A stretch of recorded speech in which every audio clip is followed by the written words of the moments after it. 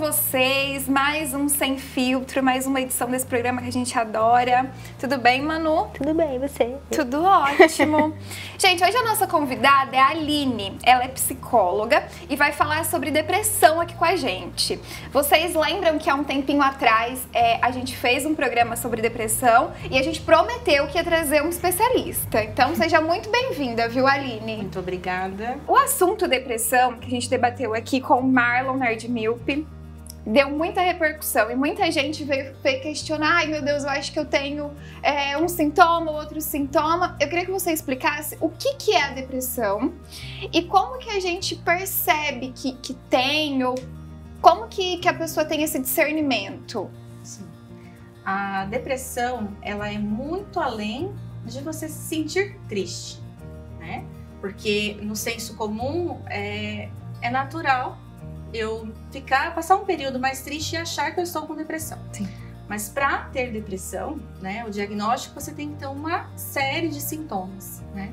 Uma tristeza mais profunda, né, uma não ter vontade de fazer, principalmente as atividades que você sente prazer, que você gosta de fazer habitualmente, né?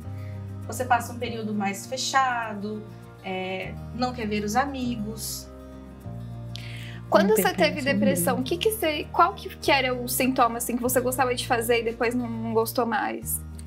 Eu gostava muito de ver filme, de ver filme, ouvir música, sair pra, pra ir na casa dos amigos. E eu não tinha vontade de fazer nada. Na verdade, não tinha vontade nem de levantar da cama. Nem desses filmes? Nada, nada. Eu queria ficar deitada sozinha, quieta, no quarto escuro, sem barulho, sem nada.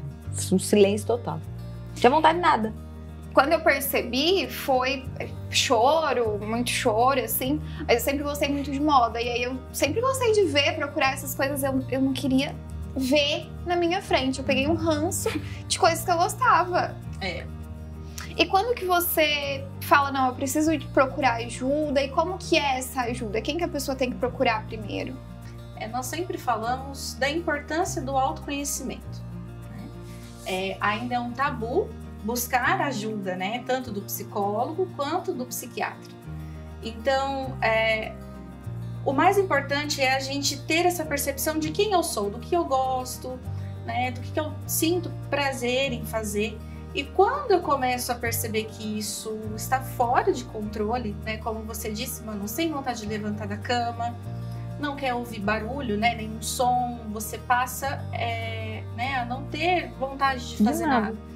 É, o ideal é que, a princípio, né, busque sim um psiquiatra e também um psicólogo para fazer um trabalho em conjunto, uhum. que é uhum. muito importante. Justamente pelo autoconhecimento. Sim. Porque é, o psiquiatra, né, ele vai conversar, ele vai diagnosticar e medicar, se for necessário.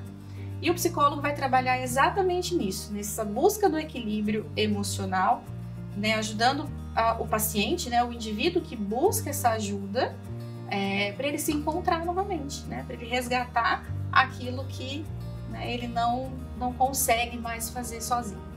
A depressão tem idade, tem gênero? Não. Qualquer um pode ter? Qualquer um pode ter em qualquer momento da vida. Né. Se a gente for pensar na pandemia, né, as crianças, por exemplo, elas estão já dando indícios de que estão com depressão, porque a socialização das crianças é muito importante. Sim. Né? Então, se isso não for assistido, se isso não for bem cuidado, se não for valorizado, né, é, tem uma forte tendência a desenvolver a depressão.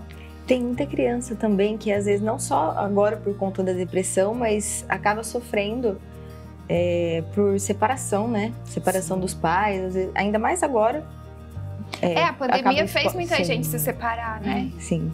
E acaba, acabou que cresceu bastante o número de crianças com indícios de depressão, né? Sim. É, porque são vários fatores dentro da separação, né? Uhum. Porque existe a alienação parental também, Sim. que é um assunto muito sério. Uhum. E que né, as crianças acabam sofrendo com isso. Então, é, o mais importante dentro da separação é que os pais não esqueçam dos filhos né? E que eles são uma peça-chave para né, para amadurecimento dessa criança, né? Para que realmente ela não sofra né, de depressão e que se, né, caso ela chegue num diagnóstico de depressão, que consiga né, ter uma busca de ajuda o mais rápido possível para isso não evoluir para algo mais grave, porque a depressão ela tem graus também. Né? Então, é, como que se manifesta na infância? O que, que os pais podem perceber, assim? Tá muito quieto, tá... Qual que é o, os sintomas, digamos assim? É, normalmente a criança é muito agitada, né? Então ela começa é, a não querer mais brincar, ela começa a ter medo de sair de casa, né? Criança também, é, pela depressão, o, o início da, dos sintomas de depressão, ela começa também a desenvolver pânico. Então ela não quer ir mais na escola, ela não quer ver mais os amiguinhos, né? ela tem é, não quer ir num restaurante, comer alguma coisa que ela gosta muito. Então esses, né, recusar né, é, coisas que ela gosta de fazer, brinquedos e tudo mais, já é um forte indício de buscar ajuda. Tem que ficar em alerta, né? Sim. Você disse que existem tipo, é, graus né, de depressão. Existem tipos também? O que está associado a esses, esses graus, assim? É, a depressão, é, dentro da, da CID, né, que é a Classificação Internacional de Doenças, é, ela é bem extensa. Né? Então entra pânico, entra o transtorno misto né, de ansiedade, depressão. Então a gente pode é, né, ter outros, é, outras doenças né, associadas à depressão. Então, só que isso, né, assim, é necessário mesmo uma investigação mais profunda, né, para chegar no diagnóstico correto. Uhum. Você tem. Você, quando você teve, você teve algum outro sintoma? Ou só não, não queria mais fazer as coisas? Eu tinha. Não, não tinha vontade de fazer nada realmente. E eu sentia assim. Não sei, um vazio, um negócio ruim dentro, uma tristeza. Porque às falava, vezes Meu Deus não é uma céu. tristeza, às é. vezes é um não sentir nada. Nada, é. Uhum. Você é um tá vazio. triste, você tá triste, mas ainda a tristeza você sente, né? Você tem é. uma motivação, mas você não sente, você não sente nada. Exatamente. Para é, esse, esse, esse relato é importante, né? Não, você não precisa, é, você não consegue explicar o que você está sentindo. Sim. Né? Esse vazio que é Sim. é difícil pro, pro próprio indivíduo entender, né? É, ele, e aceitar, né? Que eu não consigo né? Saber exatamente o que está acontecendo comigo. Né? Começa a dar desespero. Isso. Dá um desespero. Dá um desespero. Fala, gente, o que, que é isso? Tô ficando louca. É, o que, que é isso? O que está acontecendo? E até que a gente já falou nos programas anteriores, a gente começa a ter uns pensamentos bem negativos, né? É. Porque a gente fala, ai, nossa, eu não aguento mais, o que eu vou fazer? Ai, vamos acabar logo com isso? Vamos, é. Vamos acabar? É, leva ao suicídio, né? A maioria das vezes. E muito forte nos adolescentes também, hum. o suicídio. E os adolescentes, eles são mais propensos a essa, essa fase, essa idade, porque eles estão num conflito. Eu, pelo menos, gente, quando eu fui adolescente, meu Deus, eu tinha uns conflitos muito, meu Deus, eles têm, né? Tem. E isso propicia. Sim, porque é uma fase de transição, uma fase de transição muito difícil. Hoje, com tanto acesso à uhum. internet que a gente tem. Que é o pior.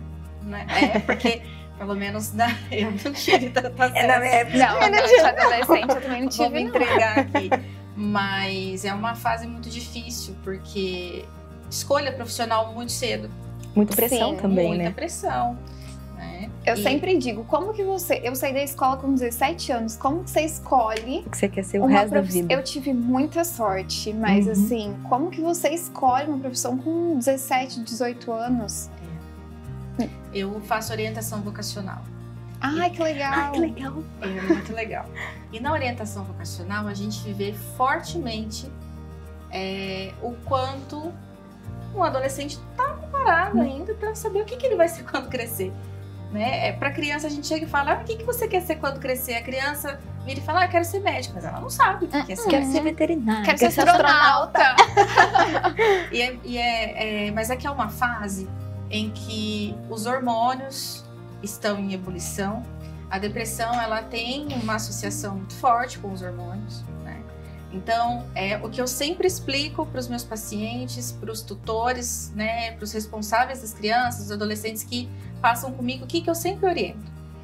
Estejam atentos. Qualquer sinal diferente, né? Não deixe isso persistir. Busca ajuda. Uhum. Né? Busca entender.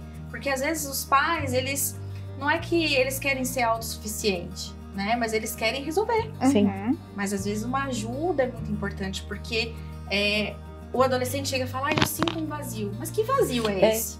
E às vezes os pais, eles sentem que ah, é é fase, é da Uhum. idade, é... e não é, gente. É Não. muito sério e tem que ser visto e tem que procurar ajuda. Porque quando eu cheguei, quando eu tive, eu cheguei pra minha mãe e falei, mãe, Hum. e minha mãe assim, não entendia muito bem o que estava acontecendo.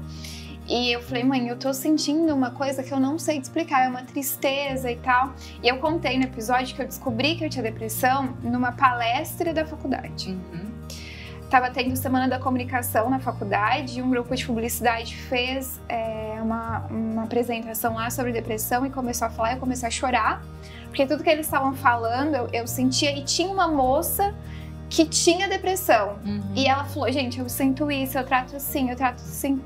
No outro dia eu falei, não, eu vou procurar ajuda porque eu vou fazer besteira e, e procurei e foi assim, tive que ir sozinha, mas não é, não é, nossa, é, não quis me ajudar, não é isso, é que às vezes não tem esse conhecimento de que não é uma fase, de que não é cansaço, de que precisa, precisa ajudar, né?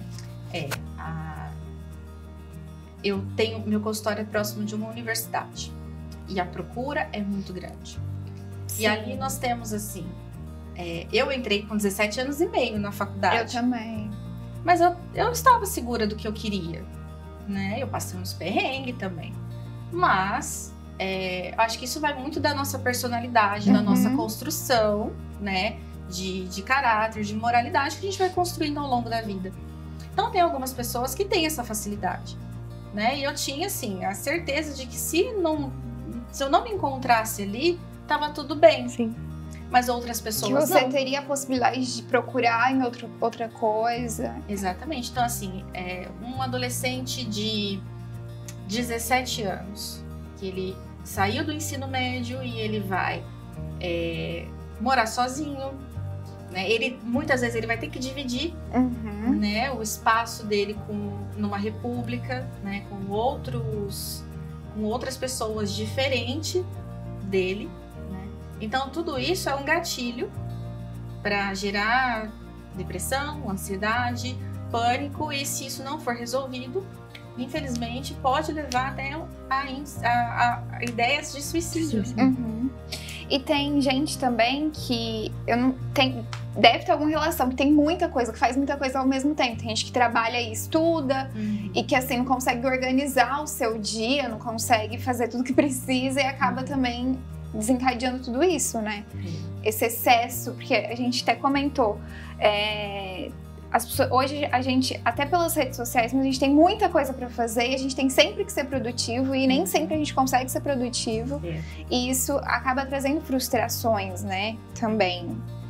Sim, é porque é um peso que a gente carrega, né, de que a gente tem que ser bom em tudo. Uhum.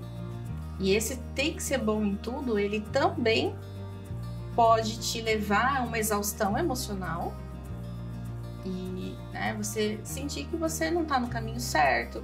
De repente você é uma excelente jornalista, Uhum. mas você tem tantas responsabilidades e aí, né, o que, que vai acontecer? Acaba se frustrando por Exato. não conseguir fazer aquilo Sim. que você gosta. E a, a depressão atrapalha na vida, né? Também. O que, que te atrapalhava, Manu? O que, que você. Meu rendimento no trabalho era péssimo. Péssimo. Porque primeiro que eu não tinha vontade de trabalhar, né? Eu acordava obrigada, falava, meu Deus, eu tenho que levantar para ir trabalhar. Infelizmente eu tenho, porque eu tenho contas para pagar. Tenho que fazer. Só que eu não conseguia fazer nada. Eu chegava no trabalho, eu não tinha vontade de fazer nada, eu olhava para a tela do computador e falava, meu Deus. E vou lá fazer, e saía tudo errado. E eu não tinha vontade de fazer nada. Eu levantava, ficava dando volta dentro do trabalho, porque eu ficava rodando para fazer coisa que eu não queria fazer. Aí o meu fica procrastinando. Fica. Aí chegava no final do dia exausta, porque não sei, parece que tem um peso em cima, que você não consegue fazer nada. E eu realmente não queria fazer nada. Então, meu rendimento do trabalho caiu, meu relacionamento com a minha família sempre caiu, porque eu já sou estressada. A gente fica muito mais irritada, né? Fica. Muito, fica. Eu já sou A uma pessoa irritação estressada. é um negócio que pega, assim. E aí a minha mãe, eu não conseguia conversar com os meus pais, porque eles falavam alguma coisa pra mim e eu já saía gritando. E aí também não ajudava muito, né? Porque não conseguia conversar. É. E aí já fala, ah, é porque você é muito estressadinha, você não tá falando com seus amigos. Uhum. E aí eu ficava mais ainda estressada. Aí eu ia pro quarto, ficava no quarto de novo. Então o relacionamento com os amigos, com família, no trabalho, foi caindo. Só caindo. Você acha que nessa época você perdeu, tipo, oportunidades, essas coisas? Eu, ah, bastante. Crescimento, é, né? A gente acaba perdendo porque é uma coisa que fala assim, ah, pra mim eu não quero. Gente, você não tem vontade de fazer? Fala, não. Eu não, não consegui quero, entregar meu TCC. Eu tava na época do meu TCC. Não entreguei. Uhum. Fui entregar depois. depois. E, inclusive, eu tenho uma professora que ela acabou comigo porque ela, coitada também, não tinha como entender. Mas ela falou: ah, você, você tá sendo muito espertinha. E disse lá, não, eu não tô, eu não consigo fazer, eu não consigo. Eu sentava para fazer o TCC e eu falava: meu Deus, que eu tô fazendo? Eu não consigo, eu não sei, eu não sou para isso. Aí você começa a se colocar é, para baixo, né? Uhum. É, baixa autoestima. Uhum. É, essa questão da, da, procrastinação também é um gatilho para começar a desenvolver uhum. é, a depressão. Porque é, a gente começa a perder a vontade, uhum. né? A gente às vezes é, é, assim é difícil explicar talvez, mas é, ela vem vindo devagarinho, uhum. né? Você de repente vai começando a perder o interesse aqui, ali, aí as coisas vão acumulando, acumulando, Sim. acumulando, e aí você já se perdeu. Entra em desespero. É, baixa autoestima, eu não dou conta de nada, eu não nasci para isso. Não sou suficiente. Eu não se sentir suficiente. É verdade é, é complicado. É, é, por isso que eu falo, né? A gente tem que falar sobre esse assunto sempre que possível. É, eu acho que eu até sou um pouco repetitiva nas minhas redes sociais, porque eu falo muito sobre isso. Mas a, a, gente acha que por mais que tenha internet tudo mais, todo mundo tem acesso, mas nem sempre as pessoas têm acesso da forma correta, né? É, graças a Deus hoje está sendo muito falado. As pessoas conseguem falar, as pessoas conseguem contar suas experiências. Mas às vezes isso não é suficiente para uma pessoa que está tá sentindo, enxergar que está sentindo e que isso é um sinal de alerta. Não necessariamente você tenha ou você vai desenvolver, mas se você tem, tá com algum desses sintomas, presta atenção, porque uhum. conforme vai passando o tempo, isso vai ficar, ficando mais difícil de, de tratar, né? É. Quanto, quanto mais tempo né, eu demoro para buscar ajuda porque a gente resiste, uhum. né? Não, isso vai passar, eu vou ficar bem, é só uma fase. Uhum. As pessoas ao nosso redor falam, né? Vai ficar tudo bem, calma, não, não vai agora não, espera mais um pouco. E esse espera mais um pouco, ele pode ser devastador. É, às vezes, às vezes esse é o maior dos problemas, né? Que a gente tenta conversar com alguém para entender o que tá uhum. acontecendo, a pessoa fala: "Ah, mas isso não é nada não, daqui a pouco passa. Ai, vamos sair, vamos fazer uma coisa que passa". Desqualifica tudo que você tá sentindo. É, exatamente. exatamente. E aí você sente pior ainda, fala assim: "Ai, será que é coisa da minha cabeça? Nossa, eu sou louca, acho que eu sou louca". Eu sou ingrata, é. eu sou louca, e você tem tudo, por que você tá sentindo isso? Uhum. Mas é, é, é, o que a gente estava conversando antes, né? É, se você tem um diagnóstico seja de diabetes, de uma doença cardíaca, né? A pessoa ela não fala para você, ah, você, ah, coitadinha, você tem diabetes. Ela não fala uhum. isso. Mas quando você tem, né, assim, é, essa tristeza prolongada, essa falta de vontade de fazer as coisas, é, as pessoas elas, não, mas vai passar, né? Para que não precisa buscar ajuda? Fala-se também muito de religião, né? Procura é, Deus. Uhum. Como se... Aí você fala, não, aí eu, eu, não, eu não tenho autoestima, eu não tenho eu Deus, eu não tenho vontade, eu sou preguiçosa, eu sou triste. E aí, que, e aí você é. cava um buraco, entra e fica. É, porque nós temos três pilares. A arte, né? Assim, não necessariamente nessa ordem, né? Mas a arte que é você fazer as coisas que você gosta, atividade física, que é muito importante, né, os seus momentos de lazer. A fé, que a fé ela independe de religião, uhum. né? E também, se você né, não acredita, isso não importa, uhum. né? E o outro pilar são as terapias, né? Então, seja a terapia com o psicólogo, né? Isso é muito importante, né? A gente procurar uma pessoa especializada, né, para fazer esse atendimento para ter esse acolhimento adequado, né? buscar um psiquiatra, né? Em alguns casos neurologista, né? Que eles também estão muito abertos hoje em dia para tratar isso de uma forma mais humanizada.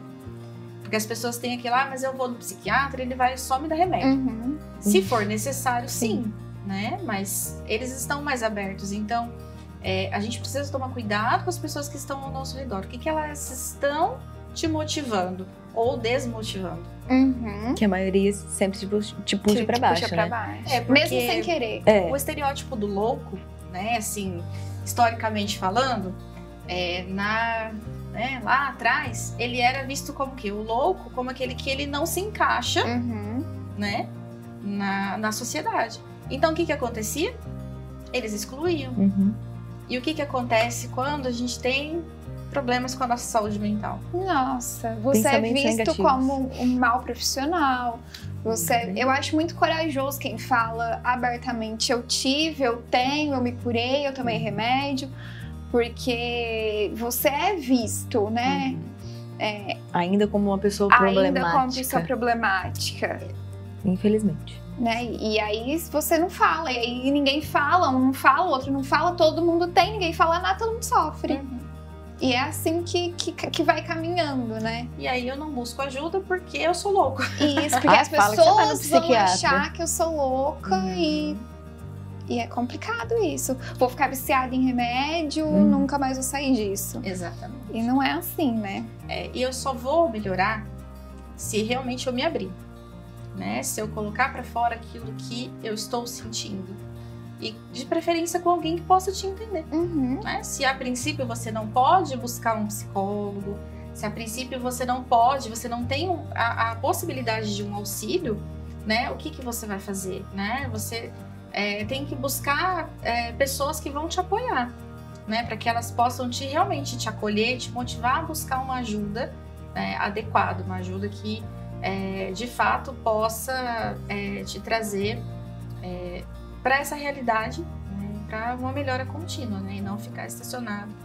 né, Só pensando que você é louco, Hum. ou que, por exemplo, psicólogo só. Vai no Uhum. psicólogo quem é louco. É. Ainda existe esse pensamento. Existe muito. Como que funciona? A pessoa é, entendeu que tá se sentindo assim e, e decidiu procurar um psicólogo. Como que é? Como que são os primeiros passos? Como que é a terapia? Existem vários tipos, né? Uhum.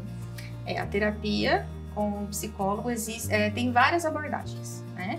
Eu trabalho na cognitivo comportamental, mas independente de abordagem, né? O psicólogo, o papel dele é, a princípio, acolher. Buscar entender o motivo daquela procura, entender a dor daquele paciente, né? É, fazer todo esse trabalho de acolhimento. Então, assim, isso pode levar várias sessões, né? Como também pode, né, assim, esse acolhimento ser um pouco mais rápido, porque ele não sabe o que ele está sentindo. Né? Alguns chegam e olha assim, assim, assim, outros não. Uhum. Por conta da- daquele vazio que você falou que não sabe, sabe o que é. né? Então, o os primeiros passos são esses: é tentar levantar todos os sintomas. Tem algumas avaliações que nós fazemos, né?